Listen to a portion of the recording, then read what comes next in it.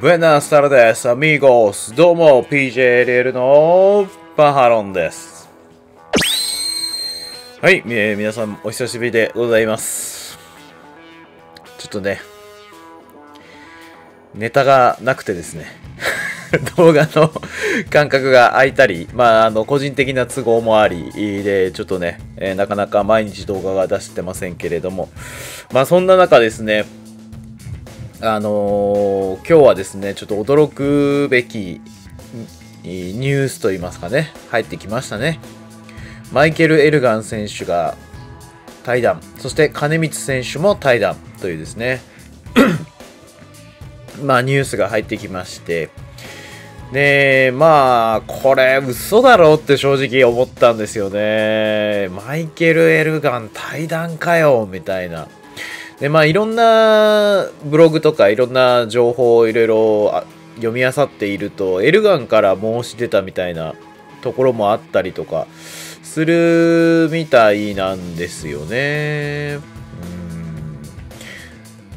まあね、でも、マイケル・エルガン手放しちゃうのかいと、こういうですね、感じが非常にありますよね。まあ、あの、肉体改造もし、まあ、非常にパワフルなファイトを見せるということでですね、まあ、ファンの皆さんのね、あの、人気もあり、みたいなところだったと思うんですよね。で、高木選手とどう絡んでいくのかとか、後藤選手とも面白い絡みになりそうだったし、とか、いろんなね、展開がまだまだありそうな状態だったんでね、そこが非常に悔やまれるかなというところなんですけれども。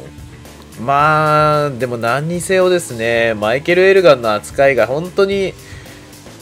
悪かったですね。新日本におけるマイケル・エルガンの扱いがですね。まあ、これはでも、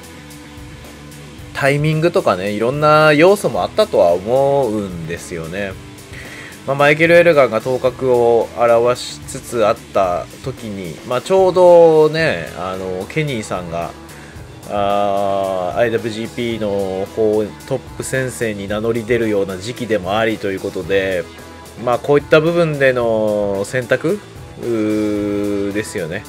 によって、まあまああの、ケニー・オメガ選手をスターダムに上げましょうとトップスターにねこ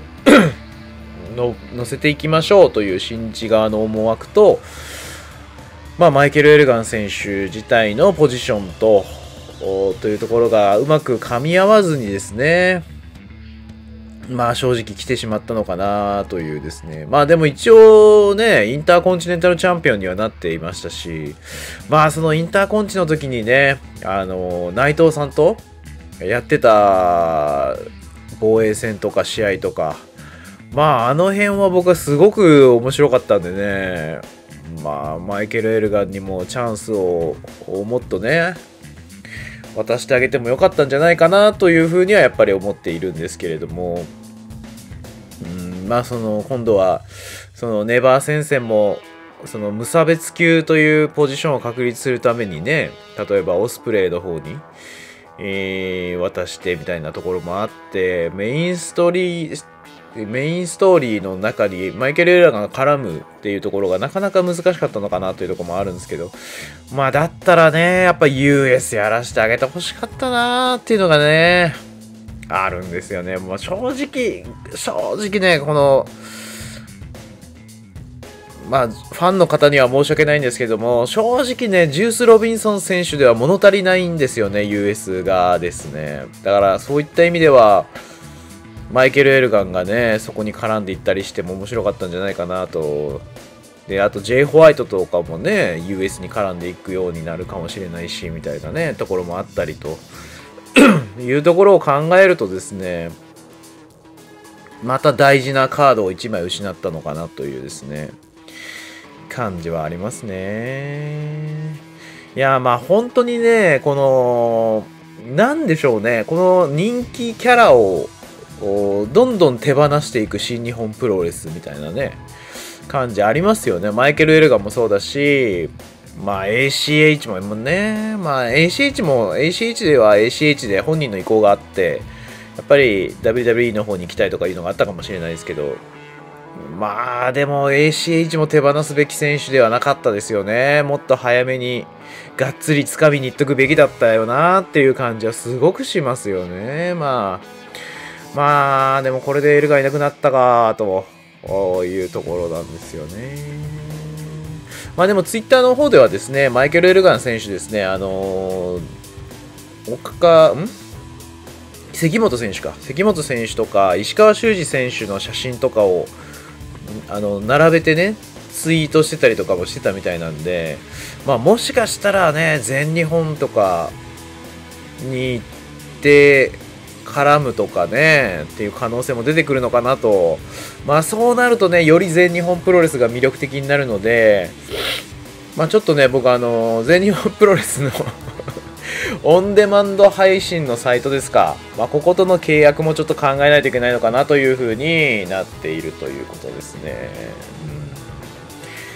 うん、エルガンが入ればより全日本はですね、大きい選手が多い団体になり、えー、おそらく今の新日本プロレスよりも、どちらかというと昭和感のあの昭和の新日本プロレスに近いようなこうバチバチの当たり合いとかしてるんじゃないかなっていう気がするのでね。まあ見てみないとわかんないですけど。まあでも前回のあのノアの無料、YouTube で無料配信があったんですけど、ノアのね。まあ、ここの中村選手、あ中島選手と塩崎選手のタッグチームのもうね、バチバチ感たるやすごかったですからね。まあそこも踏まえていくと、そういった試合ね、系統、流れ的にはね、全日本とノアっていう流れはまあ、たもとを分かったみたいなところなんで、や、やってる試合は似てるよ、似てるとは思うんで、だなので、あの、全日本も面白いんじゃないかなというふうには思うんですよね。うん。なので、全日本も考えないといけないかなっていうふうには思ってるんですけど、まあ、いずれにせよエルガン選手、あのーもう、ちょっと帰ってきてほしいんですけどね 新日に必要だって、エルガンはさ、もうなんで手放すかな、本当にね。まあ本人の希望みたいなところがあったとしたらそれはもう仕方ないので何とも言えないんですけど、まあ、ぜひあのマイケル・エルガン選手あのぜひまたあの新日本で戦う姿を僕は見たいなと思ってますんであのよろしくお願いいたしますぜひまた機会があれば新日本プロレスに戻ってきていただければと、いや、戻ってきてほしいなと思っております。はい、で、もう一人の金光選手なんですけれども、金光選手ね、ヤングライオン時代から僕も見てまして、あの、まあ、怪我をしてね、一時期、あの、復帰まで非常に時間がかかりと、で、戻ってきたんですけれども、まあ、話し合いの結果、対談することになったということでございまして、うーんまあ、怪我の具合が思わしくなかったのか、まあ、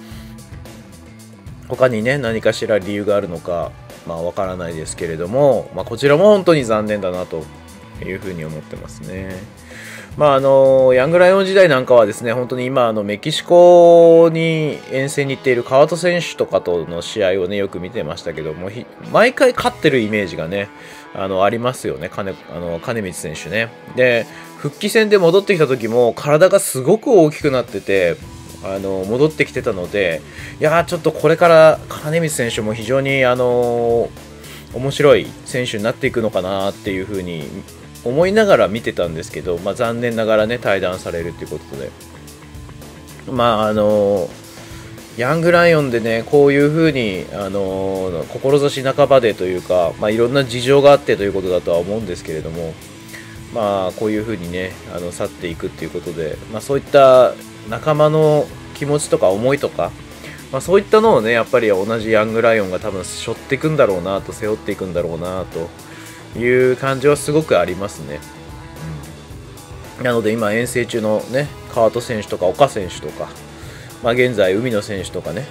成田選手とか、まあ、いますけれども、まあ、そういった面々がね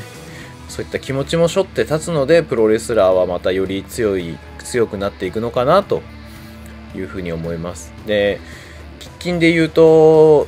レッスル1に出場されてた山村選手が山村選手もどうやら金光選手と同じようなあの箇所を怪我されてたそうでで長期離脱して戻ってきたというところだったみたいなんですがまた同じ部分を怪我したのかもしれないということで。ただまあ、あのー、リング上では、まあ、手足は動く状態だったというアナウンスもあったみたいで、とりあえずは今、緊急搬送されているということで、あの、まあ、山村選手もですね、大事に至らないことを願ってはいますけれども、まあ、やっぱ怪我がね、えー、レスラー人生を左右することもやっぱりあるという形なんですよね。まあ、なので、あの金光選手にはもしかしたらその怪我の面とかで非常に自分の思い通りにならないこととかも多くあったりとかうんしたのかもしれないですけどもね、ままだ若いですからね。あの次のステージでぜひまた次のステージでプロレスをやっていただければというふうに思いますね。人生はプロレスですからね。もう本当にプロレスやってた人なんで多分あの僕らよりも 僕らよりも全然しっかりしたプロレスをするんじゃないかなというふうに思いますのであの頑張っていただければということですね。はい。まあそんなね人生を左右する怪我があったりとかするレスラーね頑張っていたあのプロレスラーの皆さんね本当頑張っていただいてそそういったやっぱ人生かけてますよねプロレスラーってね。人生かけてプロレスやってくれてるわけなんですけど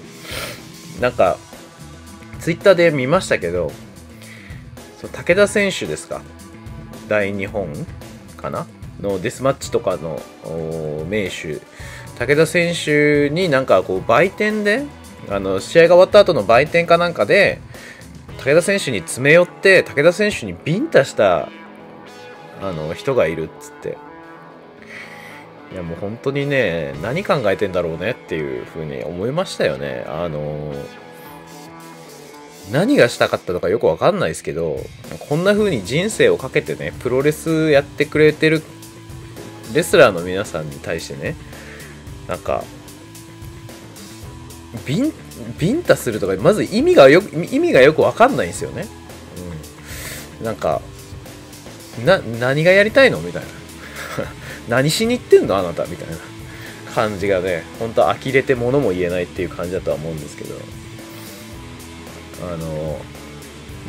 うん、うん、まあもうなんかね本当相手に対するあのリスペクトっていうのはなんもう僕はこのチャンネルでは何度も言ってますけど相手に対するリスペクトとか本当にね忘れちゃダメだからね、うん、もうレスラーをなんかビンタしてな何がしたかったんですかね本当に。なんかそういうそういうのはちょっとどうかと思いますよ本当に、うん、まあそういうふうにねあのー、もうビンタしたらもうビンタされ返しビンタすされするってことはビンタされてもいいってことだよねプロレスラーにさ本気の。やられてこいよマジでっていうね感じがしますけどね、うん、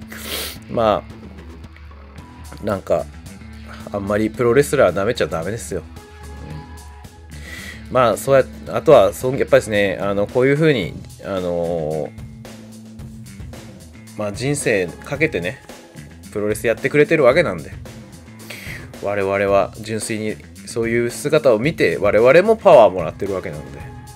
それを暴力に変えて表現するとかもうファンでも何でもないねそういう人はね、うん、全くプロレスのを分かってないってことだよねそれはね、うん、なのでもっとあのねレスラーにはリスペクトしつつあのやっていただければ、まあ、プロレスライフをね皆さん楽しんでいただければなというふうに思いますね。そしてマイケル・エルガン選手また戻ってきてほしいと思います。そして金光選手次のステージでまた新たなプロレスを頑張ってください。まあ皆さんもこのお2人の選手に対する思い出とかね、いろいろあると思いますので、ぜひその辺はコメント欄に書いていただければというふうに思います。それでは皆さんまた次の動画でお会いしましょう。アスタルエゴ。アディオス。